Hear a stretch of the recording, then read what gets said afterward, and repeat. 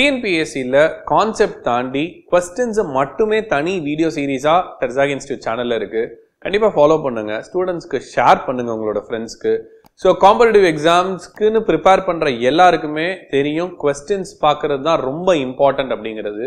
So நீங்கள் எவ்வளோ நேரம் படிக்கிறீங்க அப்படிங்கிறது இங்கே முக்கியம் இல்லை. எத்தனை நம்பர் ஆஃப் கொஸ்டின்ஸ் பார்த்துருக்கீங்க? அந்த கொஸ்டின்ஸை எவ்வளவு ஈஸியாக நீங்கள் அட்டன் பண்ணுறதுக்கான ஸ்ட்ராட்டஜியோ அல்லது வந்து பிளானோ வச்சுருக்கீங்க அப்படிங்கிறது தான் ரொம்ப இம்பார்ட்டன்ட் அதே மாதிரி ஆன ஒரு வீடியோ தான் இது. டிஎன்பிஎஸ்சியில் ஸ்ட்ரென்த் ஆஃப் மெட்டீரியல்ஸில் டூ தௌசண்ட் எயிட்டீனில் என்ன கொஸ்டின் கேட்டிருக்காங்க? அதை வந்து நம்ம எப்படி ஞாபகம் வச்சுக்கிறது? இது எல்லாமே ரிப்பீட்டட் கொஸ்டின்ஸ் அதனால இதை எப்படி கான்செப்டோட சேர்த்து படிக்கிறது அப்படிங்கிறத இந்த வீடியோவில் பார்ப்போம்.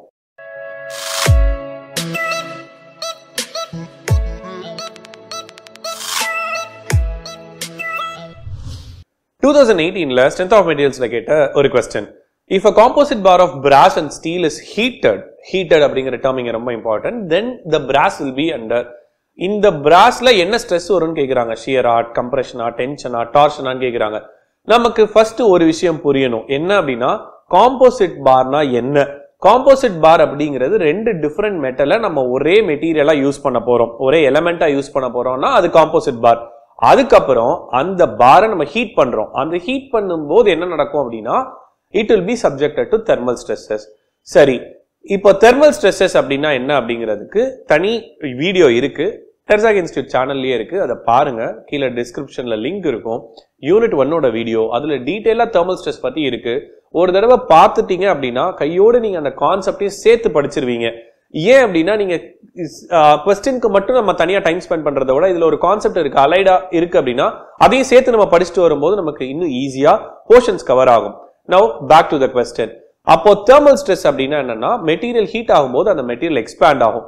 டெம்பரேச்சர் இன்க்ரீஸ் ஆகும்போது மெட்டீரியல் எக்ஸ்பேண்ட் ஆகும். டெம்பரேச்சர் கான்ட்ராக்ட் ஆகும்போது ஐ மீன் டெம்பரேச்சர் கம்மி ஆகும்போது மெட்டல் வந்து கான்ட்ராக்ட் ஆகும். ஸோ டெம்பரேச்சர் இன்க்ரீஸ் ஆச்சுன்னா எக்ஸ்பேண்ட் ஆகிறதும் டெம்பரேச்சர் டிக்ரீஸ் ஆகுதுன்னா கான்ட்ராக்ட் ஆகிறதும் மெட்டீரியலோட நேச்சர் மெட்டலோட ஒரு நேச்சர் இப்போ அதை எப்படி மெஷர் பண்றோம் அப்படின்னா ஆல்ஃபா அப்படிங்கிற வேல்யூல மெஷர் பண்றோம். ஆல்ஃபா ஒவ்வொரு மெட்டீரியலுக்கும் மாறும். இந்த இடத்துல பாத்தீங்கன்னா ஸ்டீலோட ஆல்ஃபா வந்து பிராஸோட ஆல்ஃபாவோட கம்மியா இருக்கும். அல்லது இன்னொரு டேர்ம்ல சொல்லணும்னா பிராஸோட ஆல்ஃபா வந்து அதிகம். ஆல்ஃபா அதிகமா இருந்தா என்ன ஆகும் அப்படின்னா ஒரு டிகிரி சென்டிகிரேட் ரைஸ் ஆச்சுனாலே சீக்கிரம் எக்ஸ்பேண்ட் ஆயிரும். அப்ப இந்த இடத்துல யார் சீக்கிரம் எக்ஸ்பேண்ட் ஆகுறாங்கன்னா பிராஸ். அப்போ லாஜிக்கலா பார்த்தோம்னா பிராஸ்ல டென்ஷன் தான் நடக்கணும் இல்லையா? ஆனா இங்க பிராஸ் இண்டிவிஜுவலா பிஹேவ் பண்ணல. ஸ்டீலோட சேர்த்து பிஹேவ் பண்ணுது. அப்போ இமேஜின் பிராஸ்னால ஒரு ஃபைவ் சென்டிமீட்டர்ஸ் வந்து ஃப்ரீயா மூவ் ஆக முடியும்னு வச்சுக்கோங்களேன். பட் ஸ்டீலுக்கு ஆல்பா கம்மியா இருக்கு. ஸ்டீல்னால ஒரு டூ சென்டிமீட்டர்ஸ் தான் மூவ் ஆக முடியும். ஆனா இப்ப ஸ்டீலும் பிராஸும் ஒன்னா ஆக்ட் ஆகணும் இல்லையா? அதனால என்ன ஆகும்னா ஸ்டீல் அதோட கெப்பாசிட்டியோட அதிகமா ஸ்ட்ரெச் ஆகும். For example two centimetre stretch ஆக வேண்டிய இடத்துல ஒரு த்ரீ சென்டிமீட்டர் ஸ்ட்ரெச் ஆகும். அதே இது பிராஸ்ல யோசிச்சு பாருங்க. பிராஸை ஃப்ரீயா நம்ம அலோவ் பண்ணோம் அப்படின்னா ஒரு ஃபைவ் சென்டிமீட்டர் வந்து அது எக்ஸ்பேண்ட் ஆகுதுன்னா இப்ப ஸ்டீலோட சேர்ந்து தான் அது பிஹேவ் பண்ணணும் இல்லையா? அதனால அது கம்மியா தான் எக்ஸ்பேண்ட் பண்ண முடியும். ஸோ அப்ப ஆக்சுவல் எக்ஸ்பேன்ஷனோட பிராஸ் என்ன பண்ணிக்குது அப்படின்னா கம்ப்ரஸ் ஆயிக்குது. அப்போ இதுக்கான ஆன்சர் கம்ப்ரெஷன் இதை நீங்க எப்படி ஞாபகம் வச்சுக்கலாம் அப்படின்னா இப்போ ஸ்டீலுக்கும் பிராஸுக்கும்னா நீங்க மனப்பாடம் பண்ணிட்டு போயிருவீங்க. ஆனா அதே இது பிராஸ்க்கும் கன் மெட்டலுக்கும் கேட்கறாங்க அல்லது பிராஸ்க்கும் அலுமினியம்க்கும் கேட்கறாங்க அப்ப என்ன ஆகும் அப்படின்னா அல்லது ஸ்டீலுக்கும் அலுமினியம்க்கும் அப்ப என்ன ஆகும்னா ஜென்ரலா ஒரு ரூல் வச்சுக்கோங்க. எந்த மெட்டலுக்கு ஆல்பா வேல்யூ அதிகமோ அந்த மெட்டல் வந்து கான்ட்ராக்ஷன் அதாவது கம்ப்ரெஷன்ல இருக்கும். ஏன்னா நம்ம ஃப்ரீயா அதை எக்ஸ்பேண்ட் ஆக விட மாட்டேங்கிறோம். எந்த மெட்டீரியலுக்கு வந்து ஆல்பா வேல்யூ கம்மியா இருக்கோ அது those material will be subjected to tension இதை மட்டும் ஞாபகம் வச்சுக்கோங்க. ஆல்பா எல்லா மெட்டலுக்கும் நீங்க படிக்கிறீங்களோ இல்லையோ கண்டிப்பா steel brass copper aluminium steel and concrete இதுக்கு கண்டிப்பா படிச்சிருங்க. இது ரொம்ப இம்பார்ட்டன்ட் கோர் பத்தி கேட்டிருக்காங்க அடுத்த கொஸ்டின்ல கோர்னா என்ன அப்படின்னா எந்த இடத்துல நம்ம லோடு அப்ளை பண்ணா அந்த காலம் மெம்பர்ல டென்ஷன் ஜீரோவா இருக்குமோ அதுதான் கோர் மறுபடியும் நான் சொல்றேன். இப்போ இமேஜின் ஒரு ரெக்டாங்குலர் காலம் இருக்கு. ரெக்டாங்குலர் காலம்ல நீங்க கரெக்டா சென்டர்ல லோட் அப்ளை பண்றீங்க. அப்ளை பண்ணா என்ன ஆகும்? அது எக்ஸாக்டா கம்ப்ரெஸ் மட்டும்தான் ஆகும். எக்ஸென்ட்ரிக்கா லோட் அப்ளை பண்ணோம்னா இந்த காலம்ல பெண்டிங் நடக்கும். இதே இது கான்சென்ட்ரிக்கா லோட் அப்ளை பண்ணோம்னா கரெக்டா கம்ப்ரெஷன் மட்டும்தான் நடக்கும். இப்போ கான்சென்ட்ரிக் அப்படிங்கிறது எக்ஸாக்டா சிஜில மட்டும் இல்ல சிஜி சுத்தி கொஞ்சம் ஏரியாவும் இருக்கும். அந்த கொஞ்சம் ஏரியா நம்ம கலோக்கியலா சொல்றோம் பாத்தீங்களா? அந்த ஏரியா தான் கோர் ஆஃப் அ காலம் அந்த கோருக்கு இன்னொரு பேரு கர்ன் கேஇஆர்என் கர்ன் அதுக்குள்ள நீங்க லோட் அப்ளை பண்ணீங்கன்னா என்ன ஆகாதுன்னா மெட்டீரியல்ல வந்து அந்த காலம் மெம்பர்ல வந்து டென்ஷன் ஆக்ட் ஆகாது. அப்போ அதுதான் கோர். இதுக்கான வேல்யூஸ் இந்த ஸ்லைட்ல இருக்கு. நீங்க பாத்தீங்கன்னா தெரியும். சர்க்குலர் காலம்க்கு என்ன ஸ்கொயர் காலம்க்கு என்ன ரெக்டாங்குலர் காலம்க்கு என்ன. டெஃபினட்டா படிச்சுக்கோங்க. இது ஒரு இம்பார்ட்டன்ட் டாபிக்கும் கூட. அடுத்த கொஸ்டின் பாத்தீங்க அப்படின்னா ஃபிளிட்ஸ்டு பீம்ஸ் தான் என்னன்னு கேட்டிருக்காங்க. ஃபிளிட்ஸ்டு பீம்ஸ் தான் டிம்பர் பீம்ல நம்ம ஸ்டீல ஒரு எக்ஸ்ட்ரா ஸ்ட்ரென்தனிங்காக நம்ம ஆட் பண்றோம் அப்படின்னா அதுதான் ஃபிளிட்ஸ்டு பீம்ஸ் இமேஜஸ்ல இருக்கு பாத்தீங்கனாலே புரியும். அடுத்த கொஸ்டின்ல என்ன கேட்டிருக்காங்கன்னா ஒரு சிம்பிளி சப்போர்ட்டட் பீம்ல பாயிண்ட் லோட எங்க வேணாலும் வைக்கலாம் எனிவேர் ஆன் த ஸ்பேன் அப்போ மேக்ஸிமம் டிஃப்ளெக்ஷன் எங்க நடக்கும்னு கேக்குறாங்க. இதுக்கு நீங்க பாயிண்ட் லோட் வச்சாலும் சரி அல்லது யூடிஎல் வச்சாலும் சரி யூனிஃபார்ம்லி வேரிங் லோட் வச்சாலும் சரி ஜென்ரலா பெண்டிங் மூமெண்ட் எங்க மேக்ஸிமமா இருக்கும் அப்படின்னா எங்க ஷியர் ஃபோர்ஸ் சைன் சேஞ்ச் பண்ணுதோ எங்க ஷியர் ஃபோர்ஸ் சைன் சேஞ்ச் பண்ணுதோ ஜென்ரலா அந்த இடத்துல சைன் சேஞ்ச் பண்ற இடம் பாத்தீங்கன்னா ஜீரோ ஷியர் ஃபோர்ஸோட வேல்யூ ஜீரோவா இருக்கும். அதனால நம்ம shear force at equal to ஜீரோன்னு ஒரு ஈக்குவேஷன் போட்டோம்னா அங்கே தான் பெண்டிங் மூமெண்ட் மேக்ஸிமமாக இருக்கும். இது இந்த கொஸ்டின் அடுத்த கொஸ்டின் பார்த்தீங்கன்னா ஃபெயிலியர் தியரி படி கேட்டிருக்காங்க. ஃபெயிலியர் தியரி எந்த இதுக்கு சூட்டபிளாக இருக்கும்? பிரிட்டில் மெட்டீரியல் டக்டைல் மெட்டீரியல் இதே கொஸ்டின் உங்களுக்கு ஞாபகம் இருக்காமான்னு தெரியல. போன கொஸ்டின்லையும் டூ தௌசண்ட் நைன்டீன்லையுமே இதை கேட்டிருந்தாங்க. எது எதுக்கு சூட்டபிள்னு அப்போ மேக்ஸிமம் பிரின்சிபல் ஸ்ட்ரெஸ்ஸும் மேக்ஸிமம் பிரின்சிபல் ஸ்ட்ரெயினும் பார்த்தீங்கன்னா பிரிட்டில் மெட்டீரியலுக்கும் மிச்சம் இருக்கிற தியரி மொத்தமே அஞ்சு தியரி தான் இருக்கு. செயின்ட் பெனான்ஸ் கெஸ்டஸ் ஸ்ட்ரெஸ்கா ஆர் ஒன் மிஸ்ஸஸ் தியரி இது எல்லாமே பார்த்தீங்க அப்படின்னா டக்டைல் மெட்டீரியலுக்கும் சூட்டபிளாக இருக்கும். மேக்ஸிமம் பிரின்சிபல் ஸ்ட்ரெஸ் தியரி அடுத்த கொஸ்டினும் அதே சம்பந்தப்பட்டது தான் maximum principal stress theory was postulated பாஸ்டுலேட்டட்னா என்னன்னு யோசிக்க வேணாம். யார் தியரியை ப்ரப்போஸ் பண்ணாங்க? யார் தியரியை வெளியில கொண்டு வந்தாங்க? இது எல்லாமே ஸோ அகைன் யார் கொடுத்துருக்காங்கன்னு பார்த்தீங்கன்னா Rankine's theory okay maximum principal stress theory maximum principal strain theory இந்த மாதிரி ஒவ்வொரு தியரிக்கும் என்ன இருக்கு? மேக்ஸிமம் ஷியர் ஸ்ட்ரெஸ் தியரி ஒவ்வொன்றுமே யார் யார் ப்ரப்போஸ் பண்ணான்னு பார்த்துக்கோங்க.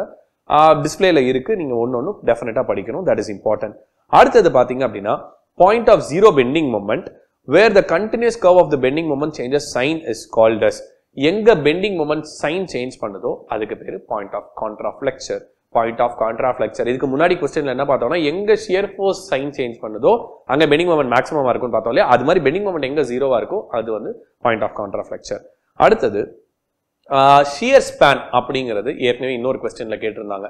எங்க கான்ஸ்டன்ட் ஷியர் ஃபோர்ஸ் இருக்கோ அதுக்கு பேர் ஷியர் ஸ்பேன் அப்படின்னு அர்த்தம். இந்த கொஸ்டின்ல என்ன கேட்டிருக்காங்க அப்படின்னா ஒரு பீம் இருக்கு. அந்த ஒரு போர்ஷன் ஆஃப் த பீம்ல பியோர் பெண்டிங்னு நம்ம எப்ப சொல்லுவோம் அப்படின்னா கான்ஸ்டன்ட் பெண்டிங் மொமெண்ட் இருந்துச்சு அப்படின்னா நம்ம வந்து பீம் கான்ஸ்டன்ட் பெண்டிங் மொமெண்ட்டும் ஜீரோ ஷியர் ஃபோர்ஸும் இருந்துச்சுன்னா அந்த மெம்பரை பியோர் பெண்டிங் மெம்பர்னு சொல்லுவோம். பியோர் பெண்டிங் மெம்பர் பேர்லயே இருக்கு இல்லையா? பியோர் பெண்டிங் மட்டும் தான் இருக்கும். ஷியர் ஃபோர்ஸ் இருக்காது. ஃபைன் அடுத்த கொஸ்டின் பாத்தீங்கன்னா ratio of moment of inertia moment of இனர்ஷியாக்கு நம்ம என்ன டேர்ம் யூஸ் பண்ணுவோம்? என்ன நொட்டேஷன் யூஸ் பண்ணுவோம்? I about the neutral axis to the distance of the most extreme fibre அதுக்கு என்ன நோட்டேஷன் யூஸ் பண்ணுவோம்? ஒய் இதுக்கான ரேஷியோ ஐ பை ஒய்க்கான ரேஷியோ கேட்டிருக்காங்க. I பை ஒய் அப்படின்றது section modulus okay section modulus fine so Z is equal to i by y so இதோட option பார்த்தீங்கன்னா C ஆப்ஷன்ல இருக்கும். அடுத்தது shape of bending moment diagram for simply supported beam carrying UDL carrying யூடிஎல்ல நம்ம எல்லாருக்குமே தெரியும் value கூட தெரியும். W L square by eight பாரபோலிக்கா இருக்கும். So it's a curve of parabolic curve இதே இது பாரபோலிக்னு கொடுக்காம டிகிரி ஆஃப் கர்வ்னு கொடுத்துருந்தாங்கன்னா இது second degree curve first degree கர்வ்னா incline லைனா இருக்கும். செகண்ட் டிகிரி கர்வ்னா பேரபோலிக்காக இருக்கும். தேர்ட் டிகிரி கர்வ் அப்படிங்கிறது கியூபிக் பேரபோலாவாக இருக்கும். ஃபைன் அடுத்த கொஸ்டின் என்ன கேட்குறாங்க அப்படின்னா G is the modulus of rigidity J is the polar modulus அப்போ டார்ஷனல் ரிஜிரிட்டி என்னன்னு கேட்குறாங்க டார்ஷனல் ரிஜிரிட்டி என்னன்னா ஜிஜே அப்போ மிச்ச ரிஜிரிட்டிலாம் என்ன சார் அப்படின்னு கேட்டா ஃபிளக்சுரல் ரிஜிரிட்டின்னு ஒன்று இருக்கு. ஃபிளெக்சுரல் ரிஜிரிட்டி அது EI GJ torsional rigidity GA அப்படின்னு ஒன்று இருக்கு அது வந்து ஷியர் ரிஜிரிட்டி ஏஇ அப்படின்னு ஒன்று இருக்கு இது வந்து ஆக்சியல் ரிஜிரிட்டி இதை பத்தியும் டர்சாக் இன்ஸ்டியூட் சேனல்லையே சார் திரும்பி திரும்பி இருக்கு. படிங்க படிச்சுட்டு வந்தீங்கன்னா உங்களுக்கும் அது யூஸ்ஃபுல்லா இருக்கும் இல்லையா? ஸோ அது பாருங்க எஸ்ஒஎம்ல ஃபர்ஸ்ட் யூனிட் கவர் பண்ணியிருக்கோம் அதை பாருங்க. ஃபைன் அடுத்தது bending stress distribution bending stress distribution அப்படிங்கிறது நார்மலா ஒரு பீமை நீங்க ஒரு லோட் பண்றீங்க அப்படின்னா டிரான்சர்ஸ் லோடிங் பீம்னாலே டிரான்சர்ஸ் லோடிங் இல்லையா? நீங்கள் லோட் பண்ணுறீங்க அப்படின்னா அது எப்படி இருக்கும் அப்படின்னா இந்த ஷேப்பில் தான் இருக்கும். மேலே பெண்டிங் கம்ப்ரெசிவ் ஸ்ட்ரெஸ் அதிகமாகவும் பாட்டமில் பெண்டிங் டென்சைல் ஸ்ட்ரெஸ் அதிகமாகவும் but depth of the beam போக போக அது குறைஞ்சு ஒரு பாயிண்ட்ல ஜீரோ ஸ்ட்ரெஸ்ஸஸ் இருக்கும். அதை நம்ம நியூட்ரல் ஆக்சஸ்ன்னு சொல்லுவோம். ஸோ இதுக்கான டயக்ராமேட்டிக் ரெப்ரஸன்டேஷன் பார்த்தீங்கன்னா ஆப்ஷன் ஏ அடுத்த கொஸ்டின் போகலாம் அடுத்த கொஸ்டின்ல என்ன கேட்டிருக்காங்கன்னா E Young's modulus I moment of inertia maximum deflection எவ்வளவு இருக்கும்? எந்த பீமுக்குன்னா ஒரு cantilever பீமுக்கு pure bending moment M at free end M at free end இருந்துச்சு அப்படின்னா டிஃப்ளெக்ஷன் பற்றியும் ஒரு வீடியோ இருக்குது கண்டிப்பாக பார்த்துக்கோங்க ஸோ டிஃப்ளெக்ஷன் தெரியாதவங்க என்ன அப்படின்னா ஜென்ரலாக வந்து மொமெண்ட் ஏரியா மெத்தட்ல நம்மளால் சால்வ் பண்ண முடியும். A by EI into X bar அப்படிங்கிறது அதோட ஃபார்முலா ஸோ ஒரு கேன்டிலீவர் எண்டில் பெண்டிங் மொமெண்ட் எம் இருக்குது அப்படின்னா எம் ஆக்ட் ஆகுது அப்படின்னா அதோட பெண்டிங் மொமெண்ட் டயக்ராமோட ஷேப் பார்த்தீங்கன்னா ரெக்டாங்குலராக இருக்கும். ரெக்டாங்குலரோட ஹைட் எம் அதோட லென்த் எல் இப்போ இதோட ஏரியா என்ன இருக்கும்? M into L okay A by EA சொன்னோமா? அப்போ ML by EA into e சிஜிக்கு என்ன வரும்? ரெக்டாங்கிளோட சிஜி என்ன? பாதியில் இருக்கும் which is L by two so M by M into L into L by two அப்போ ஆன்சர் என்ன இருக்கும் அப்படின்னா எம்எல் ஸ்கொயர் பை டூ இஐன்னு இருக்கும். இதில் எந்த ஆப்ஷன் மேட்ச் ஆகுதுன்னு பார்த்தீங்கன்னா ஆப்ஷன் டி மேட்ச் ஆகுது. ஃபைன் அடுத்த கொஸ்டின் போகலாம் அடுத்த கொஸ்டின்ல என்ன கேட்டிருக்காங்கன்னா when a tensile or compressive force P அப்போ பிங்கிறது ஒரு axial ஃபோர்ஸுங்கிறதுக்காக tensile ஆர் compressiveனு மென்ஷன் பண்ணியிருக்காங்க. If E is the Young's modulus A is the cross sectional area and L is the length change in length formula கேட்டிருக்காங்க. Change in length formula நம்ம எல்லாருக்குமே தெரியும். Delta L is equal to PL by AE அதை தான் கேட்டிருக்காங்க. Sometimes note பண்ணிக்கோங்க. Strain கேட்பாங்க. அப்போ நீங்கள் வந்து ஸ்ட்ரெயின் லென்த்தை கேன்சல் பண்ணிட்டு நம்ம வேல்யூ சொல்லணும். ஸோ அதையுமே ஞாபகம் வச்சுக்கோங்க. ஸோ பிஎல் பை ஏஇ இந்த ஏஇ ஞாபகம் இருக்கா? இப்போ தான் ஒரு ரெண்டு கொஸ்டினுக்கு முன்னாடி பார்த்துருந்தோம். AE stand for axial rigidity இந்த இடத்துல ஆக்சியல் லோட் ஆக்ட் ஆகுது. அதனால நம்ம என்ன பண்ணுறோம்னா ஆக்சியல் ரிஜிடிட்டி பற்றி பேசுகிறோம் போன ப்ராப்ளம்ல e ஐ மீன் போன கேஸ் கொஸ்டின்ல பாத்தீங்கன்னா டிவைடட் பை இஐ போட்டிருந்தோம். அதில் வந்து என்ன மென்ஷன் பண்ணியிருந்தாங்கன்னா பீம் சப்ஜெக்ட் டு டிரான்சர்ஸ் லோடிங்னு இருந்துச்சு. டிரான்ஸ்வர்ஸ் அப்படிங்கிறது பர்பண்டிகுலர் லோட் அப்போ பர்பண்டிகுலர் லோடில் இருந்துச்சுன்னா பீம் என்ன member bending member so bending மெம்பர்னால தான் கீழே இஐ வருது. ஃப்ளக்சுரல் ரெஜிடிட்டி வருது. கான்செப்ட் புரியுதா? எங்கெங்க அப்ளை பண்ணுறோம் அப்படின்னு. இது மாதிரி நம்ம கம்பேர் பண்ணி கம்பேர் பண்ணி படிக்கும் போது நமக்கு என்றைக்குமே மறக்காது. ஒரு விஷயம் எப்பவுமே ஞாபகம் இருக்கணும்னு வைங்களேன். அதை ஃபுல்லாக ராவாக கன்சியூம் பண்ணுறத விட நம்ம நிறையா பேசியிருக்கோம். நிமோனிக்ஸ் பற்றிலாம் ஸோ எதோடையாவது நம்ம வந்து அதை லிங்க் பண்ணி நீங்கள் படிச்சுக்கிட்டே இருக்கீங்க அப்படின்னா உங்களுக்கு மறக்காது. ஸோ இங்கே நீங்கள் கொஸ்டின்ஸ் படிக்கிறது மட்டுமே எய்ம் கிடையாது. அந்த கொஸ்டினை நீங்கள் ஞாபகம் வச்சுக்கிறீங்களாங்கிறதா எய்ம் ஒன்றும் இல்லைப்பா. இப்போ பாருங்க நம்ம ஒரு டுவெண்ட்டி கொஸ்டின்ஸ் நம்ம டிஸ்கஸ் பண்ணுறோம்னு வச்சுப்போமே டுவெண்ட்டி கொஸ்டின்ஸையும் நீங்கள் டெய்லி ஒரு ஃபைவ் மினிட்ஸ் இந்த வீடியோ ஃபாஸ்ட்டாக ப்ளே பண்ணி பார்த்துக்கிட்டே இருக்கீங்க. அந்த டுவெண்ட்டி கொஸ்டினையும் கொஸ்டின் சொன்னாலே மனப்பாடம் ஆயிரும். ஸோ அதுதான். இப்போ டென் இயர்ஸாக நம்ம டீச்சிங் எக்ஸ்பீரியன்ஸில் இருக்கோம். ஸோ டெர்சாக் இன்ஸ்டியூட்டில் இதே இதே ப்ரீவியஸ் இயர் கொஸ்டின்ஸை நம்ம திரும்ப ரிப்பீட்டடா நடத்திட்டே இருக்கும்போது நமக்கே ஒரு பாயிண்ட்ல இந்த கொஸ்டின் தானே இதுக்கு ஆப்ஷன் ஏ இதுதான் ஆன்சர் அப்படிங்கிற ஒரு ஃப்ளோ கிடைச்சிரும். இந்த ஒரு ஃப்ளோவை தான் நம்ம ஸ்டூடெண்ட்ஸ் கிட்ட எக்ஸ்பெக்ட் பண்ணுறோம் என்ன அப்படின்னா நீங்கள் அவ்வளோ நம்பர் ஆஃப் கொஸ்டின் சால்வ் பண்ணியிருந்தீங்கன்னா கொஸ்டினை வாசிக்கும் போதே எந்த பதட்டமும் இல்லாமல் உங்களால் ஈஸியாக அதாவது யோசிக்காமல் டக்குன்னு ஆன்சர் பண்ணிட முடியும். சப்போஸ் புது விதமாக கொஸ்டின்ஸ் இருக்கு அப்படின்னா நீங்க அந்த கொஸ்டின்ஸுக்கு உங்களோட டைமை நீங்க ஸ்பெண்ட் பண்ணலாம் யோசிக்கிறதுக்கு.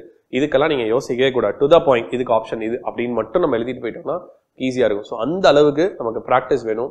Focus on that guys come on next so if E is Young's modulus and I is moment of inertia then the expression D square Y by DX square இதே கொஸ்டின் இதே மாதிரி கொஸ்டின் நம்ம ஏற்கனவே discuss பண்ணியிருந்தோம். Twenty nineteen கொஸ்டின்ல கேட்டிருந்தாங்க. அதுவும் important பாருங்க.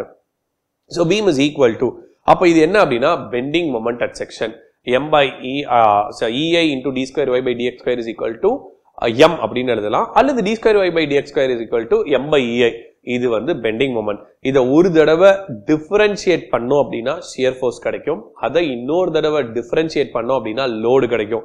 இந்த ஈக்குவேஷனை இந்த ஈக்குவேஷனை EI into D square Y by DX square is equal to M ஒரு தடவை இன்டகிரேட் பண்ணீங்கன்னா ஸ்லோப் கிடைக்கும். ரெண்டு தடவை இன்டகிரேட் பண்ணீங்கன்னா டிஃப்ளக்ஷன் கிடைக்கும்.